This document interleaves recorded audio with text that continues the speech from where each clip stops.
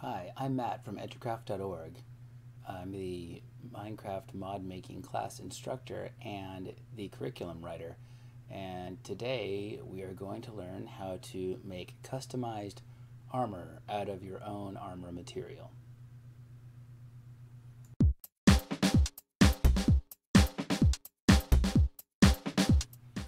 So we learned how to make your own material that you could use to make tools. Not your own custom tools, but to add that material to regular tools because a lot of what regulates how well and what how well tools work and how well things work in Minecraft is the material it's made out of. So generally the best way to make your own tools is to just make your own material and then create a, a shovel or a hoe or a, a pickaxe that uses that material. And um, that is doubly true for armor. Most of what makes armor what it is comes almost entirely from the material that it's made out of, rather than specific settings that you put in each component of your armor. So first things first is we're going to talk about how to make your own armor material.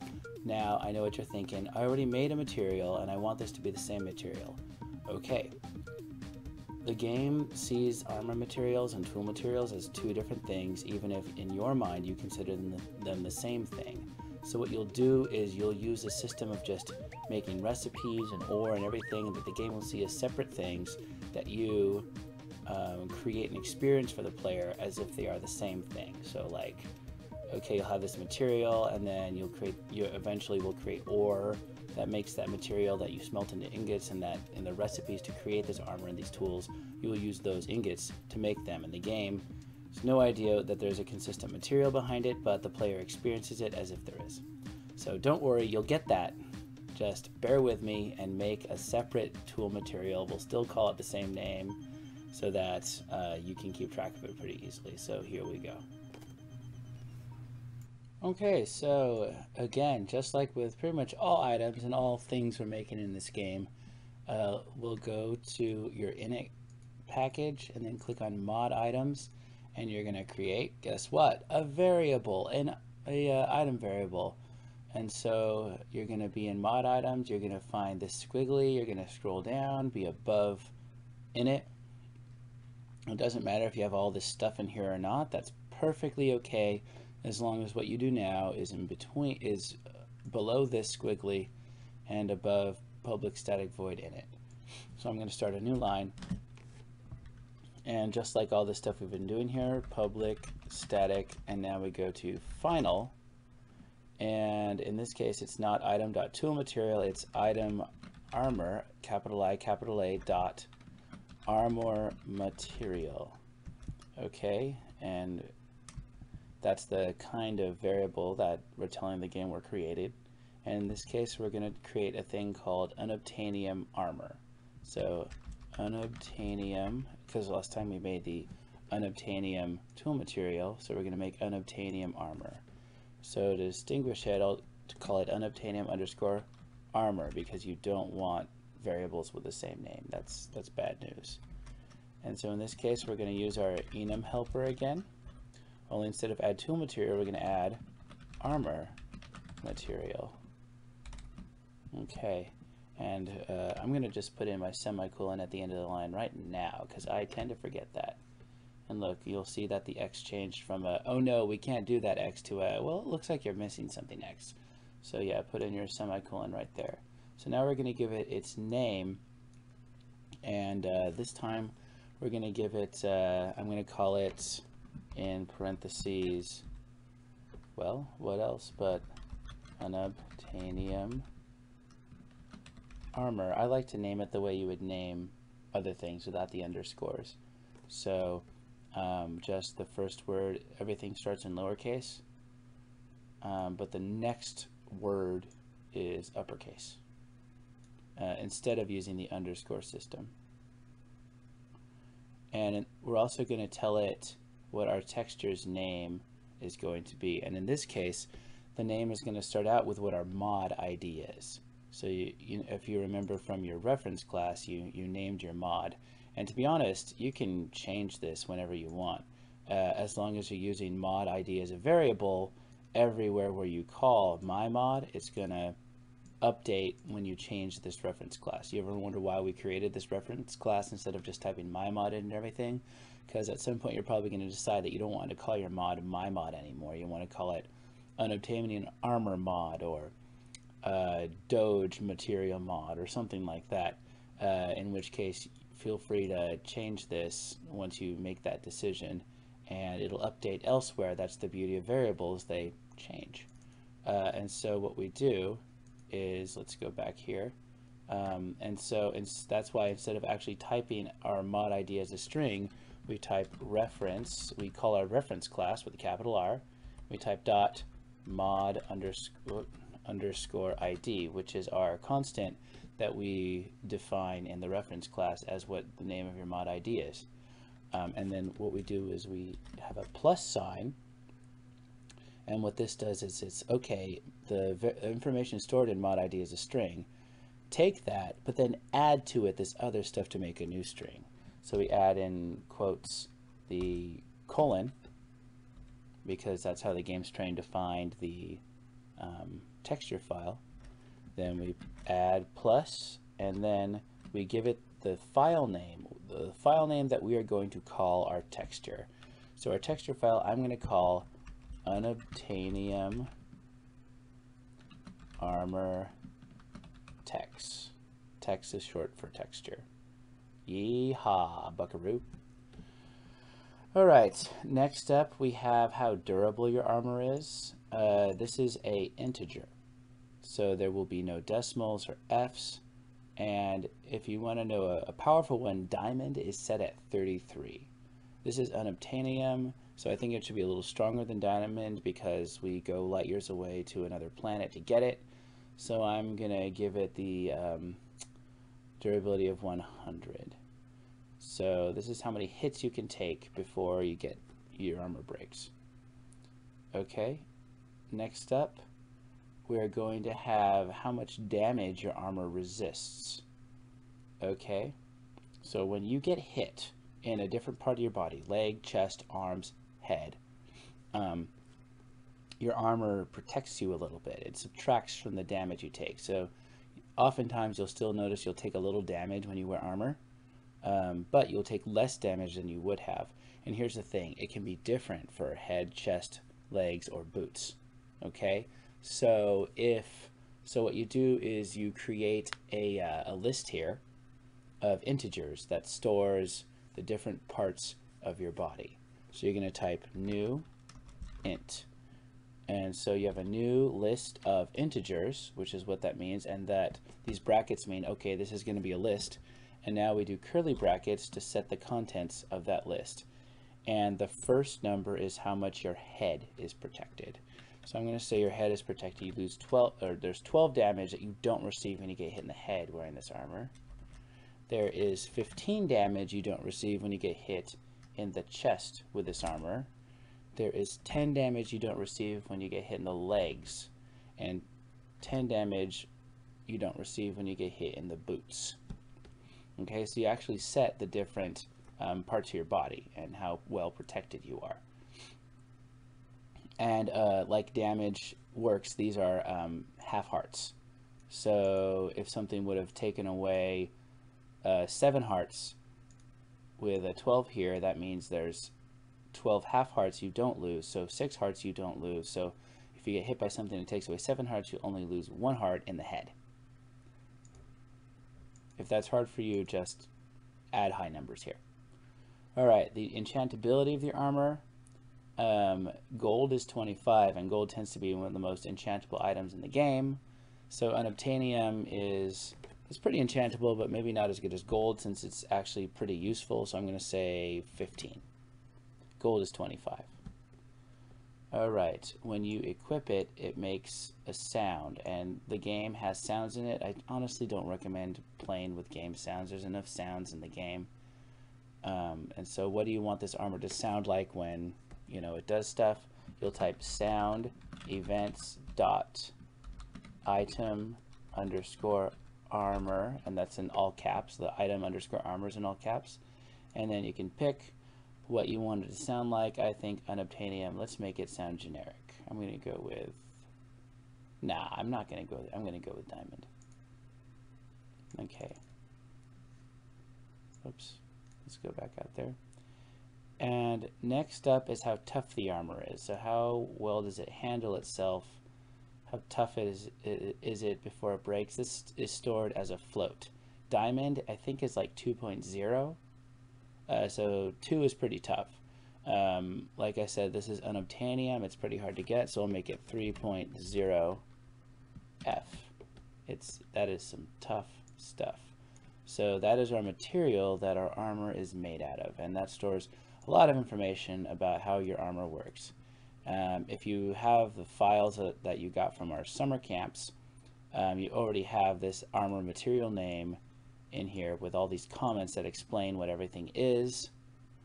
Um, the, remember, just adding new lines doesn't mean anything. The semicolon is where the line ends, so just the fact that I hit enter here just I did it to make it easier for you to read and then there's comments that explain what everything is.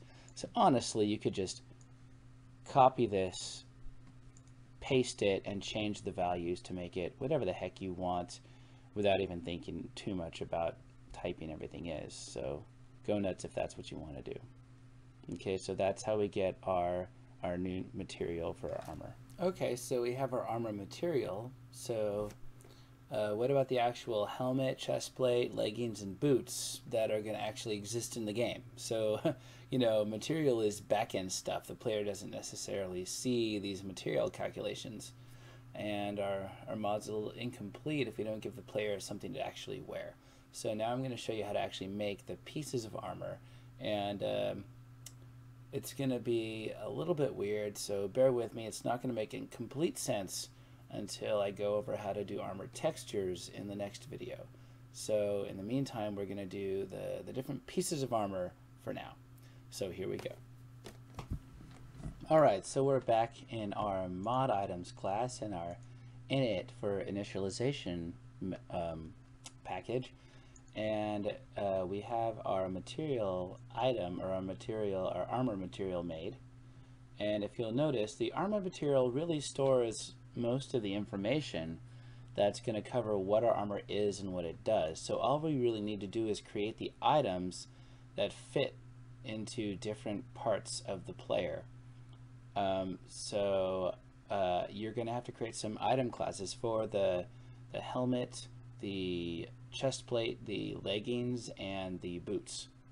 And so I have a space, and I mean, it goes where all the uh, um, item uh, variables go.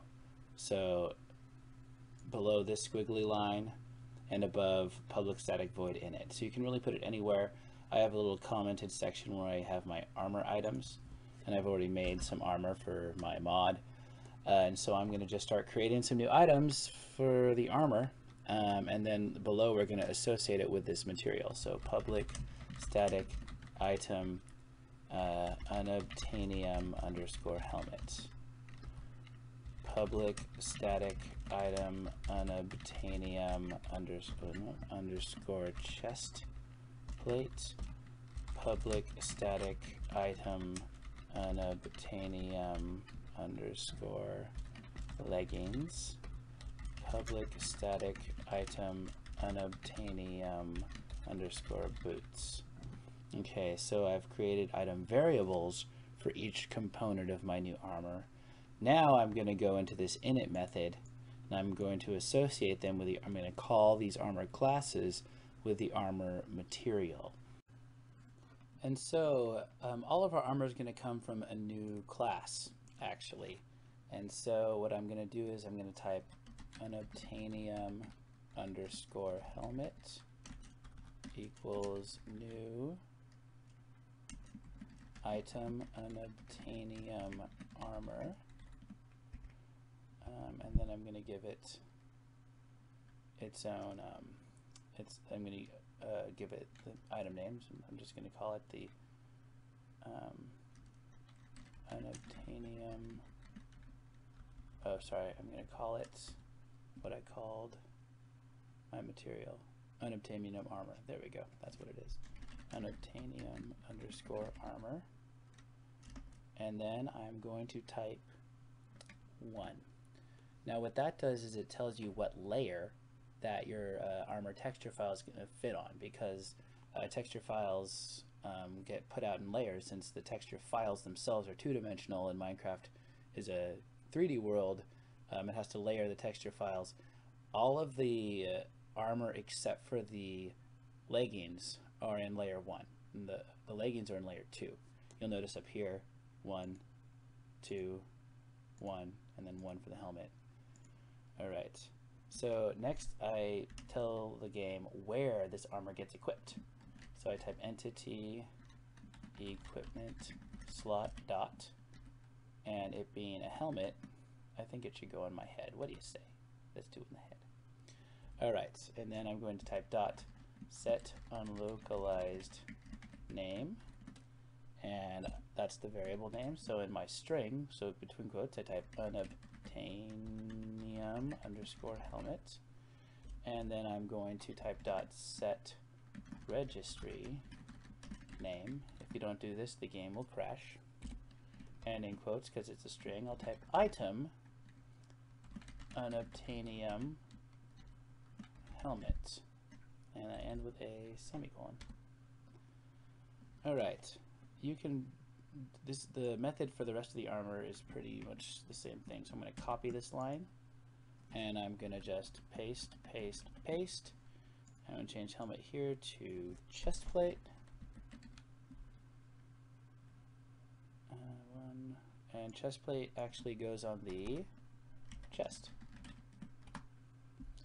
And unobtainium chest plate, unobtainium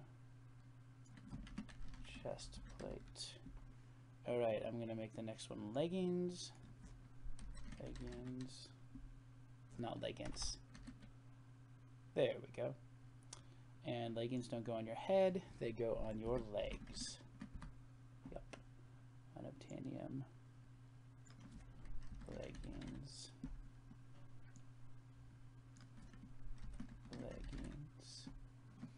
And, oh wait, and because these are the leggings, I'm going to change its layer to 2. So be sure to remember that part. Alright, and then unobtainium boots. Uh, that's layer one. Boots don't go on your head though. Boots go on your feet. Where do you got your shoes? You got your shoes on your feet. Alright, unobtainium boots. Item unobtainium boots. Alright, so you'll notice there's a little alert right here. I bet you can guess why. I don't have a class item unobtainium armor yet. Uh, so before I do that, I think I'm gonna just take care of this game registry and register render stuff. You know how to do this. You've, you've done it a million times before. In fact, I'm just gonna copy this last one, press enter, and paste. One, two, three, four, and unobtainium helmet, unobtainium chest plate, unobtainium leggings, and unobtainium boots. And then I'm going to do the same thing in the register render, copy that line, one, two, three, four, unobtainium helmet, unobtainium chest plate, unobtainium leggings, and unobtainium boots. Now I'm going to take care of this whole, oh, there's no class called unobtainium item unobtainium armor mat. So I'm going to click on there, I'm going to click on create class. I don't want it in the init package, I want it in the item classes package. I'm going to click on OK. And now I already have an example of how to do this with my item material armor class up here. So notice how it has to extend item armor because that's the class we get things from. And really I just do what's called creating a constructor class. All of this stuff is taken care of um, in, in mod items. When I call the armor, I establish what material it's made out of. I give it the render index, that's the one or the two. Um, I give it the where it goes, the equipment slot, head, chest, um, legs, feet. And so that's taken care of. The only thing left to do is set it in creative tabs. As armor, it's combat.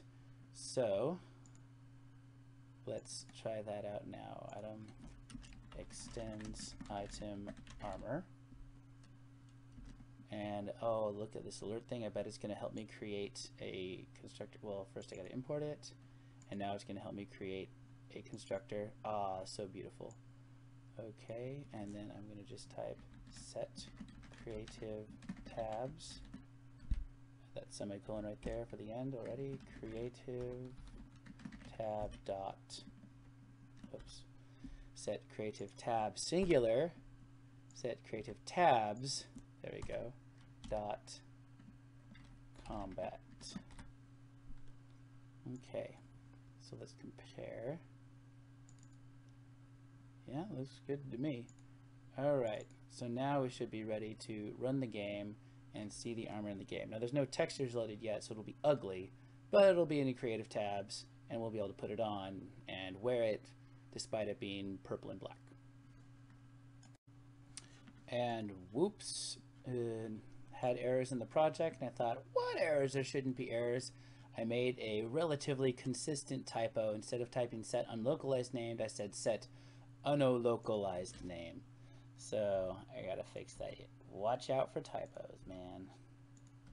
Okay, and now, now I should be able to run it. Okay, so loading the game, back in the game, you're in creative mode, so you have access to all your inventory, and going to combat, I'm to scroll down until I see the famous purple and black checkers, and uh, yeah, that's good stuff. So in when your when things appear in your inventory, those count as items. So you're going to do you can do texture files for your armor the exact same way for it appearing in the inventory, not on your body, but in your inventory. You do texture files for your armor the exact same way you do texture files for everything else. You treat it like an item and you put it in your inventory. I've already done some other items, some material stuff. I just made my 16 by 16 PNG and got that all ready. Um, and so right now I have my boots, my leggings, my helmet, and my chest plate. And I'm going to put those in my action thing and I'm going to go to survival inventory. I'm going to actually put on my armor and you're going to see how terrible it looks. So boots go into boots and I set that in my code. Leggings go into leggings, which I set in my code. Helmet goes into helmet. And chest plate goes into chest plate. And look at that. I am a weird blobby thing. Isn't she beautiful? Yeah, I'm gross. So, but the point is the armor is working. It's on my body and all of its effects will take place. It just isn't pretty which is the next step. Alright, so you've got functioning armor in the game, but it looks terrible. Um, and so next time, well, I mean, you know how to make it look great in your inventory. You treat it like an item, uh, but we need to learn how to make it look good when you're wearing it in the game. And so that's going to be a little bit different than other textures you've done in the game for both blocks and for items. And so we're going to see what that looks like next time. Um, so get ready for that.